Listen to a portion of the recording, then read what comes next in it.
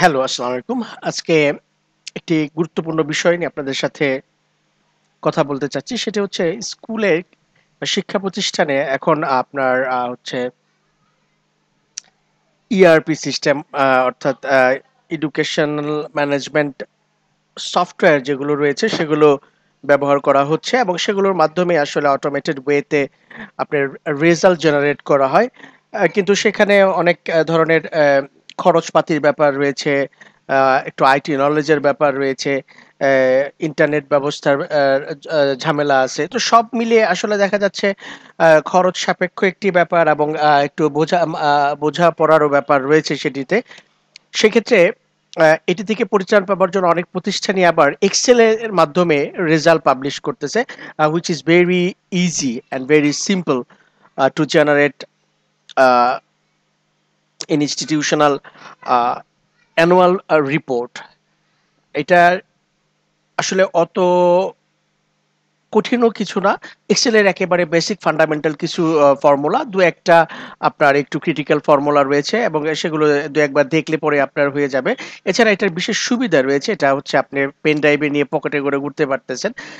প্রত্যেকটা ক্লাস টিচারকে দিয়ে দিলে সে তার বাসায় এক্সেলে বের করে অটোমেটিক রেজাল্টগুলো তৈরি করতে পারবে এবং একেবারে অটোমেটেড যে সফটওয়্যারগুলো রয়েছে, সেটার মতো একেবারে আপনার হচ্ছে বছর শেষে শিক্ষার্থীদের যে আপনার অটোমেটিক রোল প্রদান করা, অন্যান্য আনুষঙ্গিক যা হয় একটা সফটওয়্যারের মাধ্যমে করা যায়, সেটি আপনি এক্সেল থেকে করতে পারতেছেন। তো সেই বিষয়টা নিয়ে আজকে আমরা একটু কথা বলতে চাচ্ছি। বিষয়টা একটু ইলাবোরেট হওয়া দরকার, আবার সময় সাপেক্ষ ব্যাপারও। তো সব মিলে আমি চেষ্টা করব একেবারে শর্টকাটের মধ্যে আপনাদেরকে বিষয়টা একটু ক্লিয়ার করার জন্য। অনেকেই এই বিষয়টা জানতে চান। আ এইজন্যই ভাবলাম এটা একটু করি। জাস্ট অলসতার কারণে করা হয়ে ওঠে নাই। বাট আজকে বসলাম। তো এই ফাইলগুলো আমি দেখি ডিসক্রিপশানে দিয়ে দিব। আপনারা চাইলে আপনাদের স্ব-স্ব প্রতিষ্ঠানে এগুলো অ্যাপ্লাই করতে পারেন বা আপনারা কাস্টমাইজ করতে পারেন। The most important thing is that you can customize this software at any time. যেটা কিন্তু আপনি আপনি যে যদি কোনো থার্ড পার্টির সফটওয়্যার ইউজ করেন, সেক্ষেত্রে কিন্তু আপনি ইচ্ছে করলেই কাস্টমাইজ বা কোনো এডিট করতে পারবেন না। সেক্ষেত্রে আপনার আপনার সংশ্লিষ্ট যে যাদের আপনি ERP ইউজ করবেন তাদের ডেভেলপারকে বা প্রোগ্রামারকে বলে আপনার মতো করে এডিট করতে হবে। বাট এইখানে আমরা একেবারে সহজ পন্থাতেই নিজেদের মতো করে যেকোনো সময় এটাকে এডিট করতে পারি। যে কোনো কারণ কি এখানে একটা সমস্যা হচ্ছে আমাদের শিক্ষা মন্ত্রণালয় থেকে বিভিন্ন সময় বিভিন্ন ধরনের সিদ্ধান্ত গ্রহণ করে। সেটিকে দ্রুত চেঞ্জ করতে গেলে পর আমাদের দেখা যায় ওই সফটওয়্যার যারা, যাদের কাছ থেকে আমরা ইউজ করতেছি, তাদের শরণাপন্ন হতে হয় এবং তারা এটাকে আপডেট করে দিবে। সেটার জন্য নানা ধরনের সময় সাপেক্ষ ব্যাপার হয়ে যায়। তাদের উপরে ফুললি ডিপেন্ডেন্ট হয়ে যেতে হয়। অন্যদিকে এটা যেমন ধরেন এর মধ্যে কিছু চেঞ্জ আসলো, কন্টিনিউয়াস অ্যাসেসমেন্ট অ্যাড করতে হবে। অনেক প্রতিষ্ঠান এটা ছাড়াই চালাতো। তো হঠাৎ করে আপনি কন্টিনিউয়াস অ্যাসেসমেন্ট ইউজ করতে ইনক্লুড করতে গেলে আবার আপনার সফটওয়্যার যাদের কাছ থেকে নিয়েছেন সেই কোম্পানির শরণাপন্ন হতে হবে, তাদেরকে বুঝিয়ে বলতে হবে ইত্যাদি ব্যাপার রয়েছে। আবার একটা চলে আসলো যে আপনার যে কিছু বিষয় রয়েছে যে বিষয়গুলো আপনার যেমন শারীরিক শিক্ষা, কর্ম ও জীবনমুখী শিক্ষা, তারপরে ক্যারিয়ার শিক্ষা ইত্যাদি কিছু সাবজেক্ট রয়েছে যেগুলোতে আপনার পরীক্ষার রেজাল্ট শিটে থাকবে, কিন্তু সেগুলো জিপিএ স্কোরের সাথে হিট করবে না বা অ্যাড হবে না। এই ধরনের কিছু চেঞ্জেস হুটহাট চলে আসে। সেক্ষেত্রে আমাদেরকে সবসময় দেখা যাচ্ছে যে তাদের প্রতি ডিপেন্ডেন্ট থাকতে হয়। এই সমস্যাগুলো থেকে আপনি এইটার মাধ্যমে পরিত্রাণ পাবেন। একটু ব্যাপার হচ্ছে এইটা আমরা একেক প্রতিষ্ঠান একেকভাবে ইউজ করে। আমি আমাদের একটা ডেমো এখানে আপনাদেরকে দেখাচ্ছি।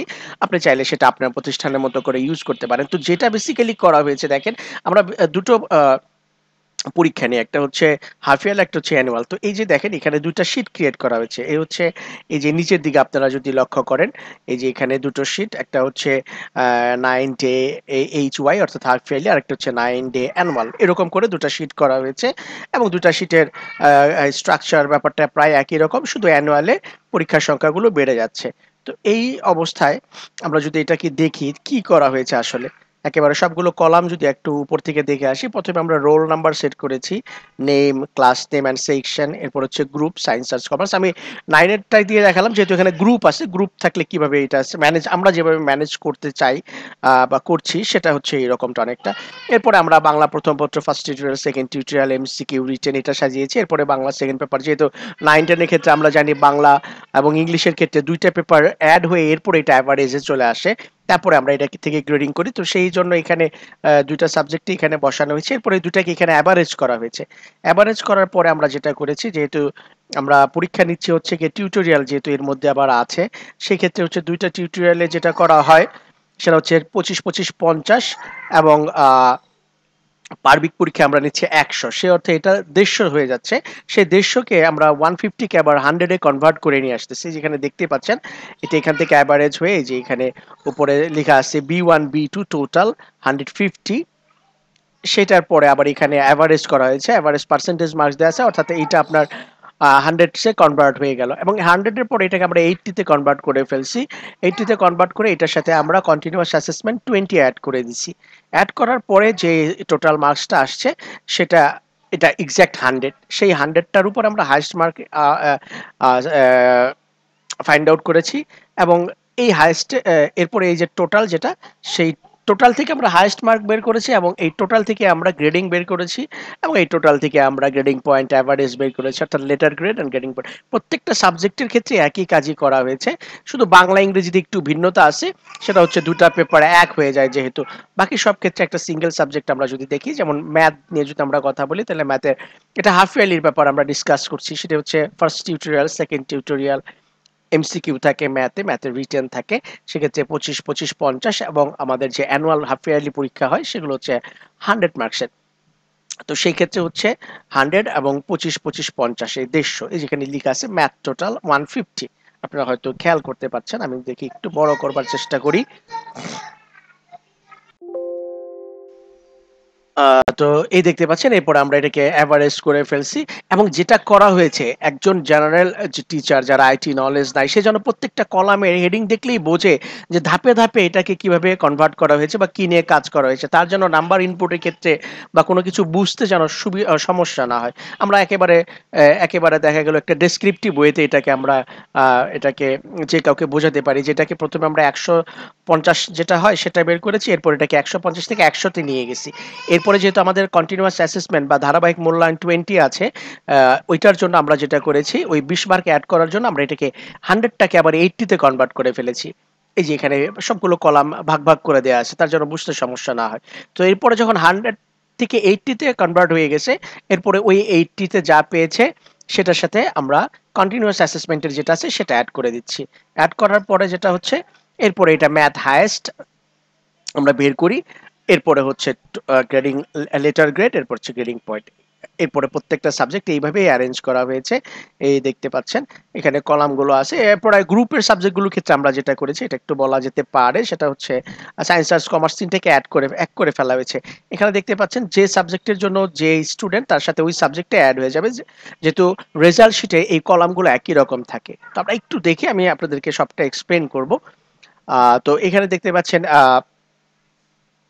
ফিজিক্স ফিনান্স অ্যান্ড ব্যাংকিং আর একটা হচ্ছে জিওগ্রাফি তো সায়েন্স আর্টস কমার্সের তিনটা সাবজেক্ট নিয়ে এখানে একটা গ্রুপ করা হয়েছে, যে স্টুডেন্ট সায়েন্স তারটার ক্ষেত্রে এটা সায়েন্স হিসাবেই শো হবে। কারণ আপনার রেজাল্ট শিটে তিনটা ঘরে অবলিক দিয়ে আলাদা আলাদা করে থাকে, আমরা জানি। সেক্ষেত্রে যে স্টুডেন্ট সায়েন্সে সে বুঝে নেবে তার ফিজিক্সের নাম্বার এখানে চলে আসছে, যে কমার্সে সে ধরে নেবে এটা তার ফিনান্স অ্যান্ড ব্যাংকিং যে আর্টস থেকে বা হিউম্যান নেটিস থেকে আসছে, সে ধরে নেবে এটা জিওগ্রাফির নাম্বার তো এখানে এই যে first tutorial second tutorial MCQ এবং এখানে আপনার রিটেন রয়েছে এবং সবশেষে যেহেতু এখানে গ্রুপ সাবজেক্ট এখানে ফিজিক্স হাফ ইয়ারলি প্র্যাকটিক্যাল প্র্যাকটিক্যালের ঘরটা এখানে রাখা হয়েছে। এটাও এরপরে যথারীতি বাকি ঘরগুলো একই রকম। এখানে হান্ড্রেড ফিফটি হান্ড্রেড ফিফটি থেকে হান্ড্রেড হান্ড্রেড থেকে এইটটি এইটটি থেকে কন্টিনিউয়াস অ্যাসেসমেন্ট চলে আসছে। এরপরে হচ্ছে গিয়ে একশোতে সে কত পেল? হান্ড্রেডে কত পেল? আউট অফ হান্ড্রেড এরপরে হচ্ছে হায়েস্ট মার্কস কত আসছে? এই আউট অফ হান্ড্রেডের সবগুলো থেকে এরপর হচ্ছে এগুলো প্রত্যেকটা সূত্র এখানে অ্যাপ্লাই করা আছে। অটোমেটিক এগুলো সব জেনারেট হয়ে যাবে, সমস্যা নাই। যেমন আমরা যদি একটা ট্রাই করি, তাহলে আপনারা বুঝতে পারবেন। যেমন সাপোজ আমরা এখানে যদি দেখি এখানে আমরা একটা নাম্বার একটু অ্যাড করে আপনাদেরকে দেখাই। এখানে যেমন ফিজিক্সের রিটেন এসে থার্টি পেয়েছে, আমরা এটাকে ফর্টি করে দিই। ফর্টি করে দেওয়াতে সেইখানে কত চলে আসলো?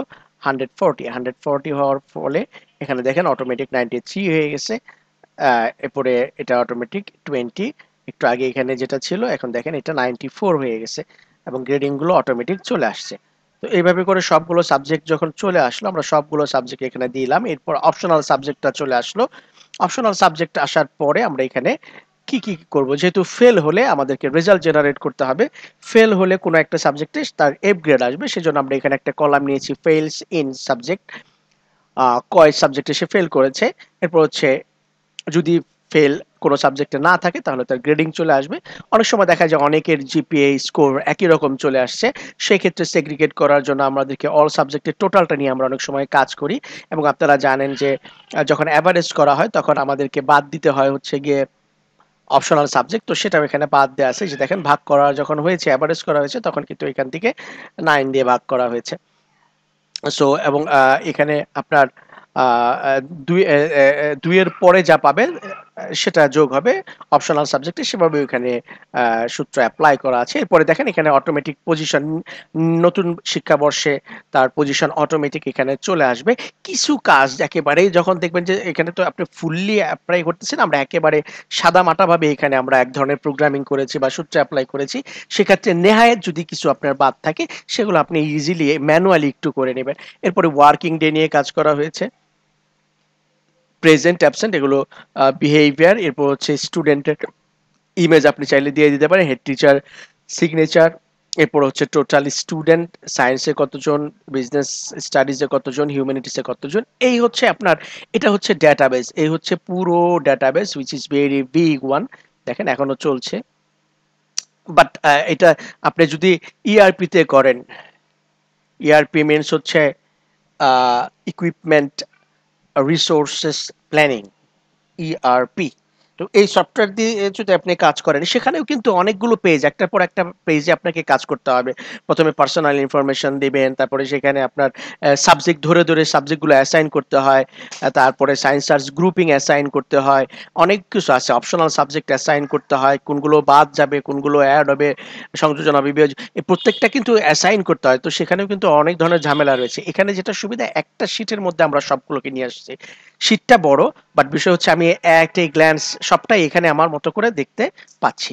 তো এই হচ্ছে হাফ ইয়ারলি অ্যানুয়ালে যেটা করা হবে জিটিসি থাকবে, শুধুমাত্র এখান থেকে আমরা ওই নাম্বারটাকে এখানে টেনে দিব। টেনে দেওয়াটা একদম ইজি ব্যাপারটা খুব ডিফিকাল্ট কিছু না।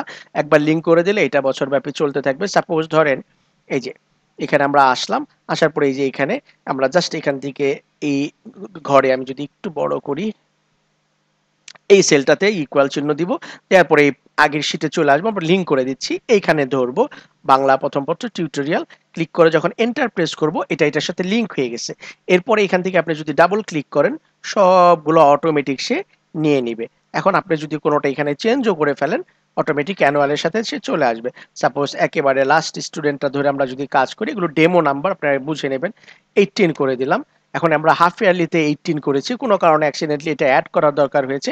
আপনি হয়তো ভুলে যাবেন যে হাফ ইয়ারলিতে এডিট করা হয়েছে, অ্যানুয়ালিতেও অনেক সময় আপনি খেয়াল নাও থাকতে পারে, বাট সমস্যা নেই। যখন আপনি লিঙ্ক করে ফেলছেন, তখন অটোমেটিক এখানে দেখেন এইটিন চলে আসছে এই যে অ্যানুয়াল শিটে তো এইভাবে করে এই লিঙ্ক করাটা খুব ডিফিকাল্ট কিছু না। এরপরে আপনি জানেন এক্সেলের যে লেটেস্ট ভার্সনগুলো আছে, আপনারা একটু লেটেস্ট ভার্সন ইউজ করার চেষ্টা করবেন। সেখানে অনেক ধরনের সুবিধা রয়েছে।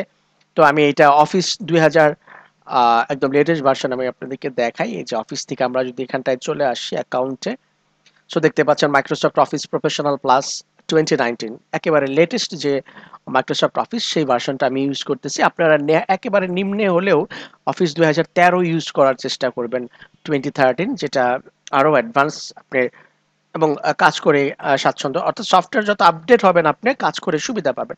তো এই হচ্ছে পুরো বিষয়। এটা হচ্ছে আমার ডাটাবেস আফেয়ারলি এবং অ্যানুয়াল দুই পরীক্ষার। তো এই যে ডাটাবেস হলো, এখানে তো আমার ডাটাবেস হলো বাট আমি রেজাল্ট করব কীভাবে? রেজাল্ট আমরা করব হচ্ছে গিয়ে মাইক্রোসফট ওয়ার্ড ফাইলে এক্সেলে করব আমরা, আপনারা জানেন একটা খুব পপুলার মাধ্যম আছে, সেটা হচ্ছে মেইল মার্চ যেটা খুবই জনপ্রিয়।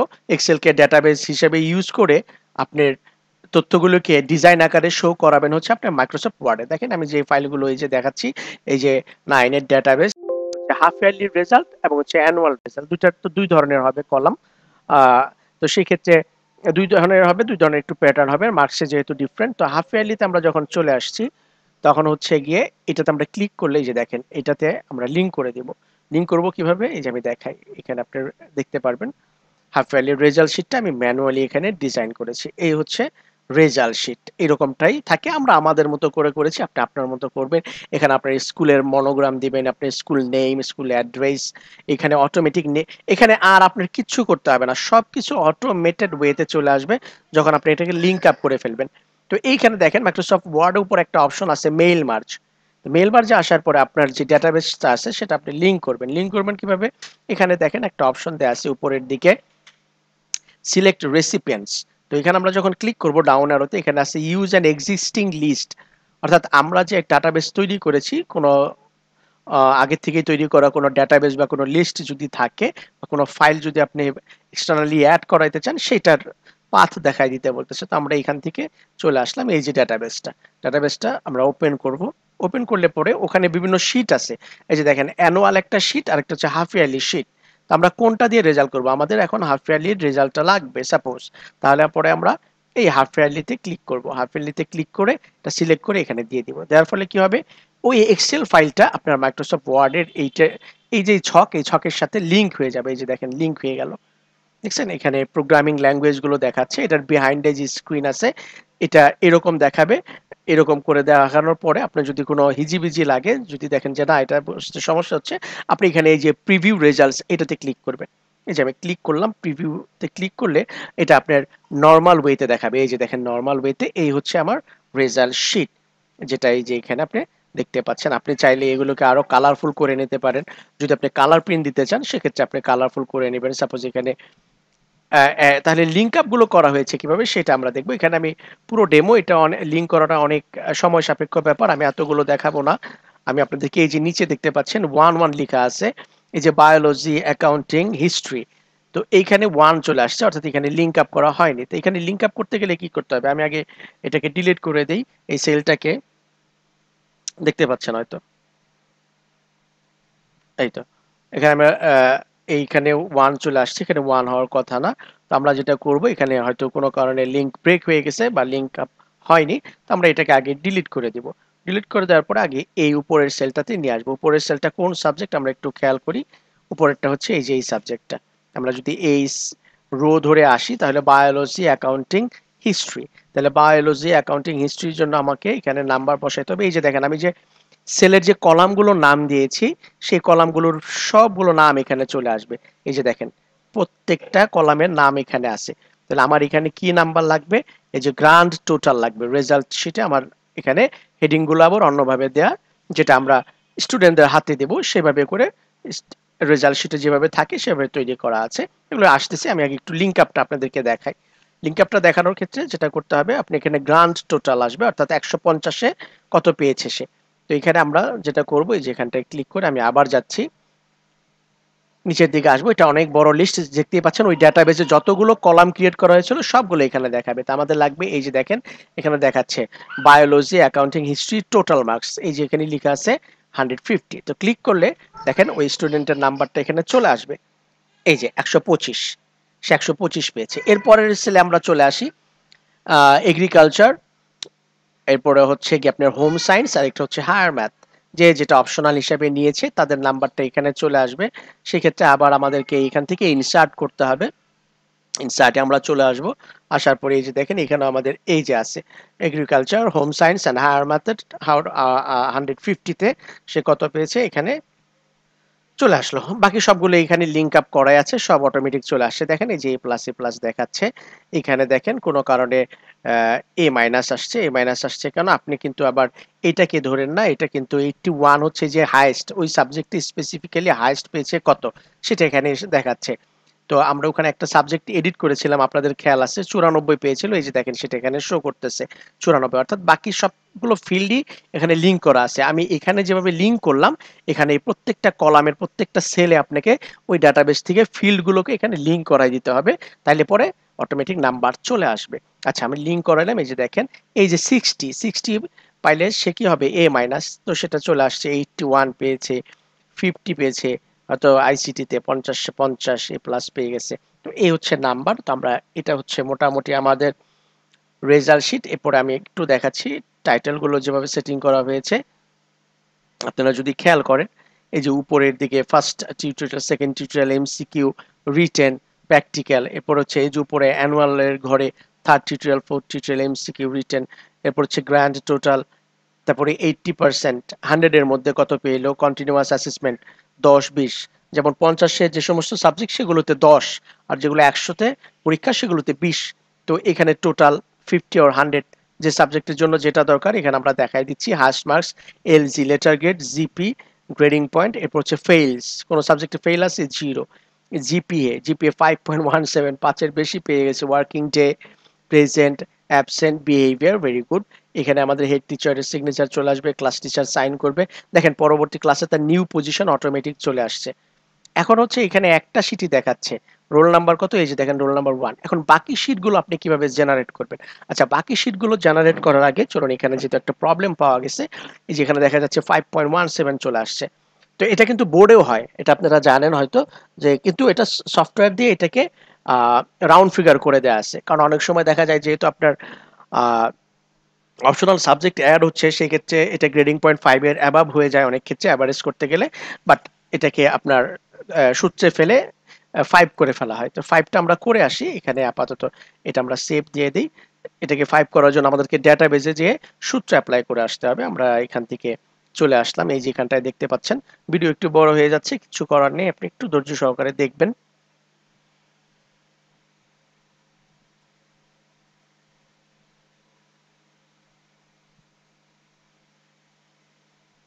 ওপেন হয়ে গেল। আমাদের যেটা প্রবলেম ছিল সেটা আমরা হচ্ছে কি আমরা যখন রেজাল্টে চলে আসব জিপি স্কোর যখন চলে আসবে সেটা আপনার বেশি চলে আসতেছে five point one seven show করতেছে। আমরা চাচ্ছি এটা যতই হোক যদি পাঁচে সাতও চলে আসে অ্যাভারেজে সেটা যেন ফাইভ করে ফেলা হয়। আই মিন হ্যাঁ, এটাকে যেন রাউন্ড ফিগারে নিয়ে আসা হয়। সাত তো আর হবে না ফাইভ পয়েন্ট সামথিং হয়ে যায় বেসিক্যালি ওইটা আবার বলা ঠিক হবে না আবার আবার মিস কনসেপশন ক্রিয়েট হবে। তো এখানে দেখেন আমরা যেটা করব, এই রোতে একেবারে শুরুতে আমরা একটা সূত্র ফেলাই দিব। একদম সিম্পল একটা সূত্র, আমরা রাউন্ড ফিগার করে ফেলতে চাচ্ছি। তো ইকুয়ালটের সরি এখানে আচ্ছা এইখানটা যদি আমি বাদ দিয়ে দিই, এই সেলের মধ্যে যদি করি, তাহলে আপনাদের হয়তো একটু দেখতে সুবিধা হবে। একটু বড় করে দিলাম জুম করে, এখানে যদি চলে আসে, এখানে ডাবল ক্লিক করলাম আমরা। ডাবল ক্লিক করে দেখতে পাচ্ছেন, একেবারে শুরুতে চলে যাব আমরা। এই যে শুরু, একেবারে সূত্র শুরু করা হয়েছে। এখানে আমরা লিখব হচ্ছে R O U N D round এই যে দেখেন ট্যাপ দিলাম। রাউন্ড দেওয়ার পরে এখানে যা আছে, অর্থাৎ রাউন্ড মিনস হচ্ছে আমার এখানে এই যে ফ্র্যাকশন যেটা আসতেছে, এই ফ্র্যাকশনটা আমি চাচ্ছি না এটাকে রাউন্ড করে ফেলবে। রাউন্ড করে ফেলতে গেলে কি করতে হবে? এটা আমি রাউন্ড দিয়ে দিব। দেওয়ার পরে এই যে সূত্রের নিচের দিকে চলে আসব, ওখানের কাজ শেষ। রাউন্ড দেওয়ার ফলে এই পুরো জিনিসটাকে আমি এখানে একটা কমা দিয়ে দিব। এই যে কমা কমা দেওয়ার পরে দেখেন এই যে আমার সূত্র দেখাচ্ছে। সূত্র দেখাচ্ছে যে রাউন্ড রাউন্ডের পরে হচ্ছে নাম্বার নাম্বার মানে পুরো সূত্রটা আমি এখানে ইনক্লুড করে দিছি এরপরে কমা সেই কমা আমি দিলাম। এরপরে হচ্ছে যেটা বলতে চাচ্ছি সেটা হচ্ছে নাম্বার ডিজিটস অর্থাৎ এই যে পয়েন্ট যেটা থাকবে ফ্র্যাকশন যেমন ফাইভ পয়েন্ট ওয়ান সেভেন হয়ে গেছে, এই পয়েন্টের পরে কি চাচ্ছি আমি? এই পয়েন্টের পরে আমি চাচ্ছি শূন্য চাচ্ছি। যে কটা ঘরই থাকবে, সবগুলো ঘরে আমার কি হয়ে যাবে? জিরো হয়ে যাবে। বিষয়টা অনেকটা এইরকমই। অথবা অনেকটা সময় এরকম বোঝায় যে আপনার ফ্র্যাকশনের ক্ষেত্রে কয়টা ঘরের ডিজিট বসবে? অর্থাৎ দশমিকের পরে দুই সংখ্যা চাচ্ছেন, তিন সংখ্যা, এক সংখ্যা, সেটাও এখানে নির্ধারণ করে। আমি এখানে জিরো দিয়ে দিচ্ছি মিনস হচ্ছে যে কয়টা ঘরই হোক, আমার সব কিছুকে জিরো করে দাও। আমি এখানে জিরো দেওয়ার পরে এই যে সূত্রটাকে বন্ধ করে দিলাম ক্লোজ দিয়ে দিলাম এন্টার দিলাম। দেখেন সবগুলো অটোমেটিক রাউন্ড ফিগার হয়ে গেছে। তো এরকম করে বোর্ডেও কিন্তু সূত্র অ্যাপ্লাই করা থাকে, আমি যতদূর জানি যে, কারণ অনেক সময় ফ্র্যাকশানে চলে আসে, এই ধরনের বেশি চলে আসে। দেখেন সবগুলো অটোমেটিক সবগুলা যেহেতু এটা একটা টেবিল আকারে নেওয়া হয়েছে, পুরোটা একটা টেবিল এই যে দেখেন, সেই ক্ষেত্রে ডাটাবেজের সবগুলা রোতে এই সূত্রটা অ্যাপ্লাই হয়ে গেছে অটোমেটিক তো এখানে আমাদের কাজ শেষ, এই একটা প্রবলেম ছিল, সেটা আমরা এখান থেকে সেভ করে নিলাম সেভ করে নেওয়ার পরে এখন আমরা এই যে রেজাল্টে চলে আসব হাফ ইয়ারলি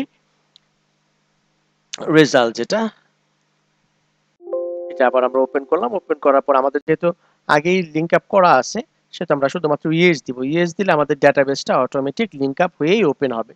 আর যদি আপনি নো দেন, তাহলে আবার নতুন করে আপনাকে ডাটাবেস ফাইলটা অর্থাৎ এক্সেল ফাইলটা আপনাকে লিঙ্ক আপ করতে হবে। তো এই ওপেন হয়ে গেল। ওপেন হওয়ার পর আমরা যদি দেখি, দেখেন এখানে automatic five point zero zero চলে আসছে। তো আমাদের এই হচ্ছে রেজাল্ট আপনি চাইলে উ যে একটা জল ছাপ দিতে পারেন ব্যাকগ্রাউন্ড আমি যেটা দেখাচ্ছি। এখন আমরা এই সবগুলো রেজাল্ট অর্থাৎ ওই ডাটাবেজে প্রত্যেকটা স্টুডেন্টের রেজাল্ট আমরা জেনারেট করব। সেটার জন্য এই যে উপরে দেখেন মেইলিংস লেখা আছে। এখান থেকে আসব।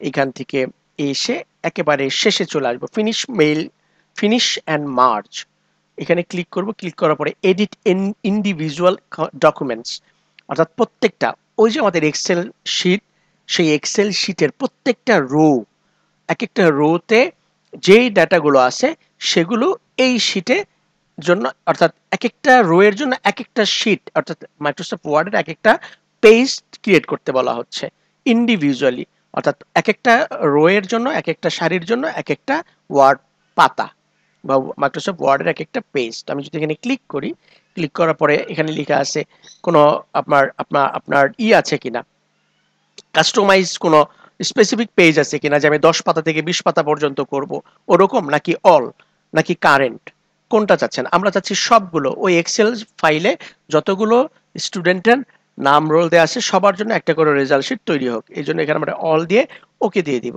ওকে দিলে দেখেন উপরে লেখা আছে হাফ ইয়ারলি ড্যাশ ওয়ার্ড এটা, এই ফাইলটা ওপেন করা আছে। একটু পরে যখন এটা জেনারেট হয়ে যাবে, তখন দেখবেন অন্য আরেকটা নতুন ফাইল ওপেন হচ্ছে। এটা একটু সময় নেবে, যেহেতু আমাদের ওখানে অনেকগুলো স্টুডেন্ট আছে, আবার আমি এখানে রেকর্ডিং করতেছি সো র্যামে হয়তো একটু স্লো হবে।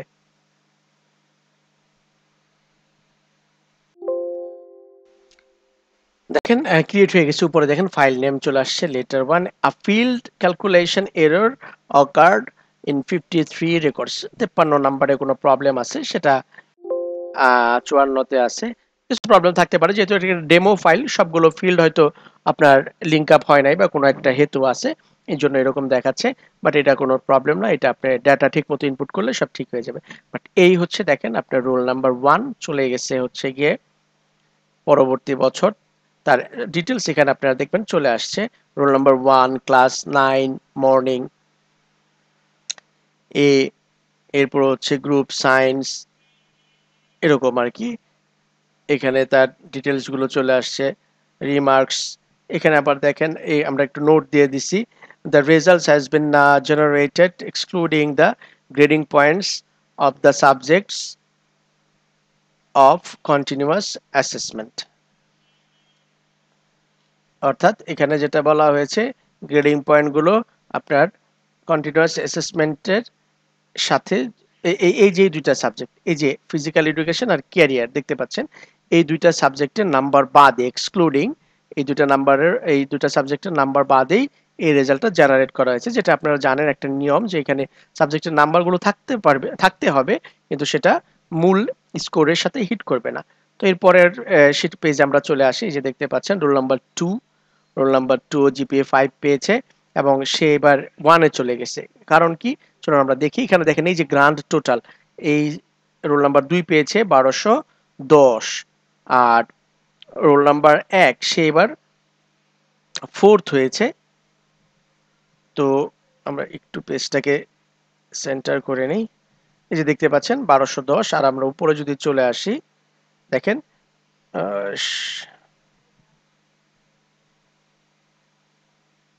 এই যে রোল নাম্বার এক, তার টোটাল হচ্ছে এগারোশো পঁচাশি। সো জিপি স্কোর এক বাট এখন আমরা রেজাল্ট যেটা জেনারেট করতেছি, সেটা করতেছি তার টোটাল মার্কসের উপরে। যেহেতু দুইটাই এক হয়ে গেছে, তো এই ধরনের একটা ফাংশন নিয়ে আমরা এখানে, এই রেজাল্টটাকে জেনারেট করেছি। কারণ অনেকেরই জিপি স্কোর ফাইভ চলে আসতে পারে, সেক্ষেত্রে কি করব? এরপরে দেখেন রোল নাম্বার যে থ্রি সে চলে গেছে সেভেনে কারণ কি? তার এবার টোটাল সে জিপিএ ফাইভ পেয়েছে ওকে বাট তার টোটাল হচ্ছে এগারোশো পঁয়তাল্লিশ।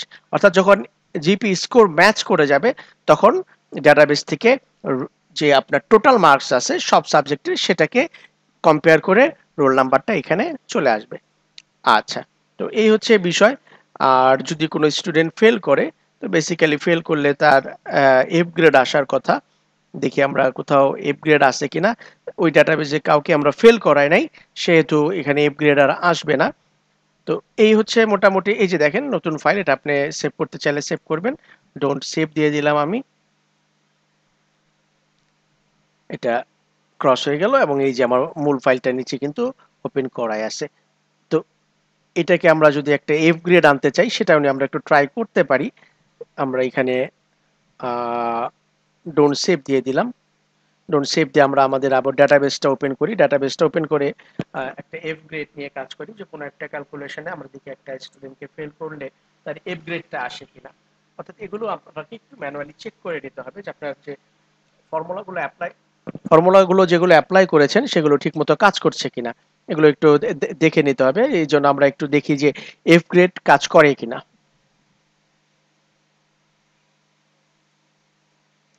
এফ গ্রেডের জন্য আমরা এই যে একটা সাবজেক্টে একটা স্টুডেন্টকে একটু চেক করতে পারি। যেমন এই স্টুডেন্টটাকে আমরা এখানে সে ফিফটিন ফিফটিন পেয়েছে, এগুলোকে আমরা সব ফাইভ করে দিই। ফাইভ ফাইভ ফাইভ ফাইভ দেখি কোনো এফ গ্রেড আসে কিনা। এই যে এফ গ্রেড চলে আসছে এবং দেখেন টোটাল কয় সাবজেক্টে সে এফ গ্রেড পেয়েছে যে এখানে চলে আসছে। ফেল ইন সাবজেক্ট এক সাবজেক্টে ফেল এক সাবজেক্টে ফেল করলে তার কি হবে? তার হচ্ছে গিয়ে এখানে আপনার ভ্যালু হিসাবে জিপিএ রাউন্ড ফিগার তো আসতেছে না, তার কোনো নাম্বার শো হবে না, এটাই ন্যাচারাল ব্যাপার। সেক্ষেত্রে তার এখানে এফ এখানে তার এখানে আমরা একটা সূত্র অ্যাপ্লাই করেছিলাম রাউন্ড ফিগারের তো এখানে আমাদেরকে এই সূত্রটা একটু আগে পরে করতে হবে আদারওয়াইজ এখানে প্রবলেম হয়ে যাচ্ছে। সেটা হচ্ছে আমরা এই সূত্রটাকে এখান থেকে রাউন্ডের যে সূত্রটা ব্যবহার করেছিলাম, সেটাকে এখানে না দিয়ে আমরা একটু পরে অ্যাপ্লাই করতে পারি। যে আমাদের আগেই, আমরা আগেই চেক করে দেখব যে আমাদের কোনো সাবজেক্টে ফেল আছে কিনা। যদি ফেল থাকে, তাহলে তো আর বাকিগুলো জেনারেট করবে না। তো আমরা সূত্রটাকে এইখানে বসাই দিই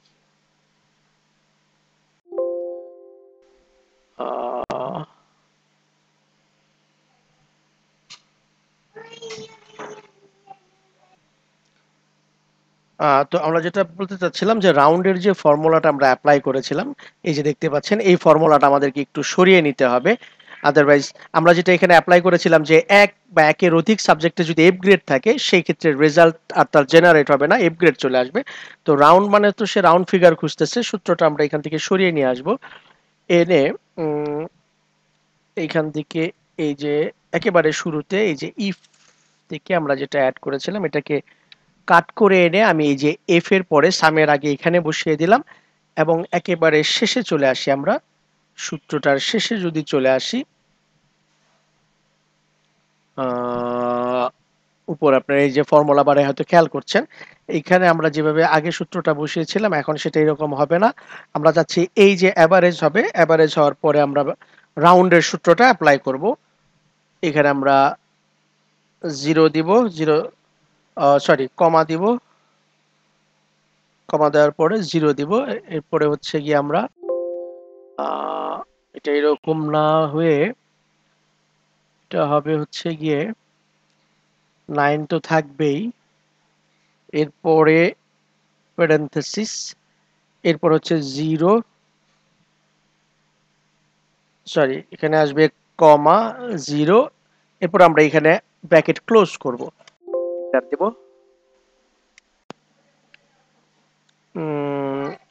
নাইনের আগে। নাইনের আগে। তাহলে আমরা এখানটায় bracket close zero, sorry, comma zero, bracket close. বাকি অংশটা আমরা ডিলিট করে দিব।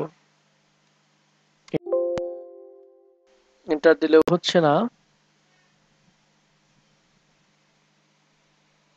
এটার সূত্রটাতে একটু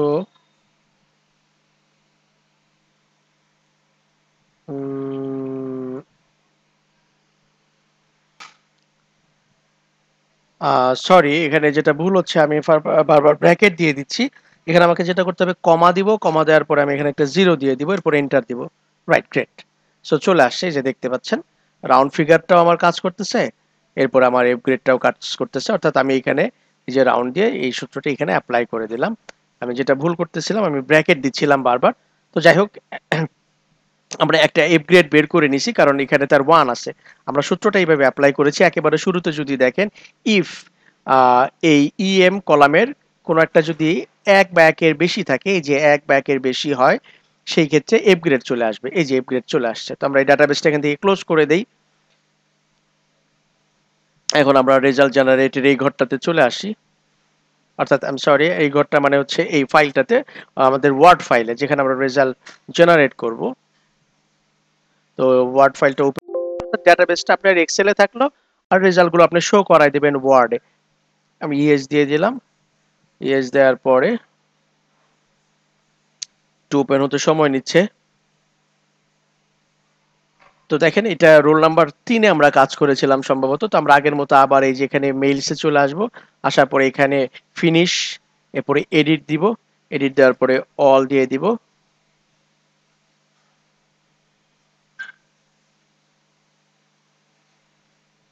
একটু সময় নিবে।